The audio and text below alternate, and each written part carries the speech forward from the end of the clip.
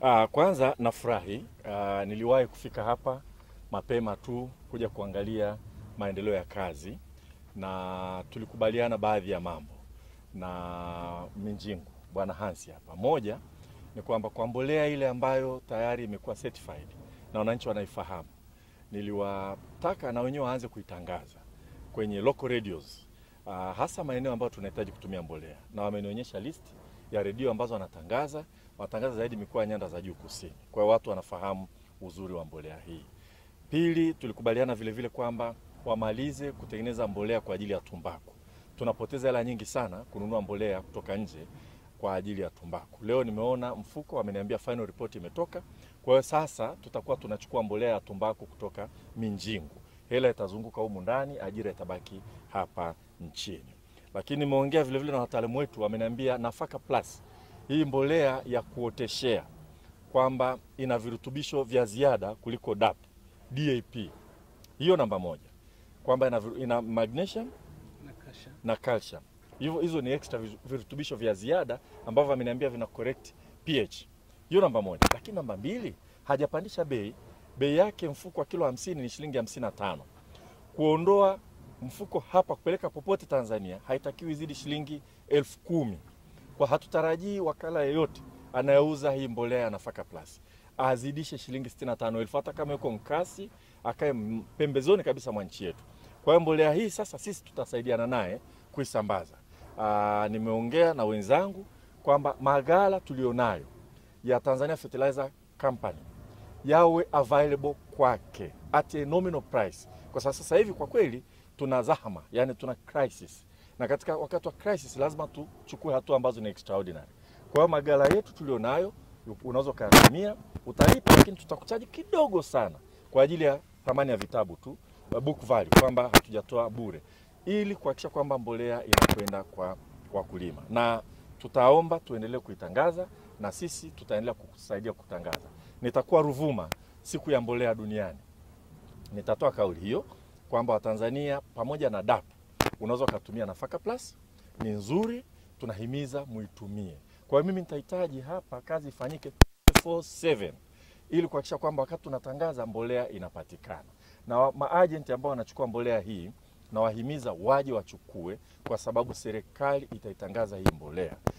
Mimi jana nilikuwa Dodoma, nimetembelea kile kiwanda ambacho kinajengwa na chenyewe kitatoa tani laki sita za mbolea. Laki sita ndio tani mbolea tunayotumia hapa nchini, na baada ya hapo, ndani ya wiki moja, wiki moja na nusu, naenda Burundi kwenye kile kiwanda chao cha kuzalisha kule. Kwa hii ni mikakati mingine ya kuhakikisha kwamba tunajaribu kupunguza kuleta ahueni katika soko la mbolea hapa nchini, pamoja na jitihada ambazo tumefanya kuongea na makampuni makubwa kama Yara na mengine yote ambayo nimeona na wenyewe wanaanza kampeni sana ya kupunguza mbolea na kudhibiti mawakala wasiongeze sana bei ya mbolea. Kwa hiyo wito wangu kwa hapa nilipo Minjingu leo, wakulima wanataka kuotesha mahindi, kuna Nafaka Plus.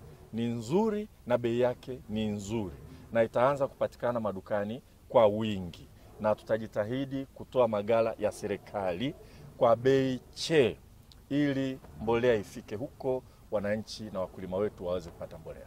Kwanza kabisa mimi ni, ni kwa niaba ya kampuni ni mshukuru Mheshimiwa Waziri kutembelea mara ya pili katika muda mfupi, ametutia moyo, na mara ya kwanza pia kuna vitu alitusisitiza tuvifanye ambavyo nimevichukua maanani sana, ambazo ni sisi kuweza kufikia wakulima pamoja na kuongeza uelewa wa mbolea yetu kwa wakulima. Hiyo tumeendelea na ni zoezi endelevu itakayoendelea, na pia tuweze kupanua uzalishaji haraka ambaye ndio sasa leo ameikagua kwamba tukiendelea na ujenzi wa kuweza kupanua kiwanda haraka iweze kufika hata kwenye tani laki dhamira ni tani laki tatu katika mwezi wa miaka mi, eh, miwili ijayo, ambayo tunataka tuifikie hili and then tutapanuka zaidi, na niseme tu kwamba sisi tuko tayari. Hii ni ni kiwanda chetu cha nchini na tuna amani na imani kabisa kwamba hii ni mbolea sahihi kwa ajili ya wakulima wetu, na ndio mkulima ndio mkombozi wa mkulima.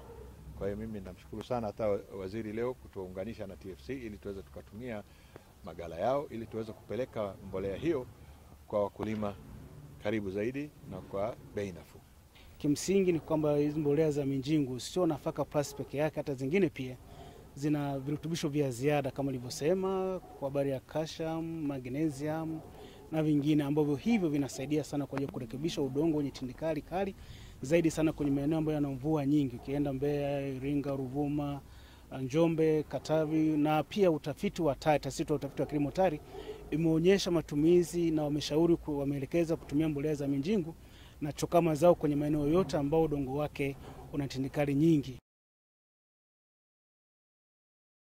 Mkuu wa chuo cha Kilimanjaro Institute of Technology and Management kilichopo Mwenge jijini Dar es Salaam na chenye ithibati na usajili wa NACTE namba REG mkwaju ane mkwaju 029 anapenda kuwatangazia nafasi za masomo kwa ngazi ya diploma na certificate katika kozi za IT, Business Administration, Accountancy, Procurement and Supply, Front Office na Hotel Management. Chuo kimebobea katika ufundishaji wa njia ya vitendo na kimeweza kutoa wanafunzi wenye weledi. Wengi wameajiriwa ama kujiajiri, na kwa wale ambao wameamua kuendelea na degree wameweza kujiunga na vyuo vikuu bora hapa nchini na nje ya nchi. Pia kuna ofa ya kozi fupi za computer application, graphics and design pamoja na video production maalum kwa vijana wanaomaliza kidato cha nne na cha sita mwaka huu. Karibu ujifunze kwa njia ya vitendo kwa kutumia vifaa vya kisasa. Kwa maelezo zaidi piga simu namba 0754864361 au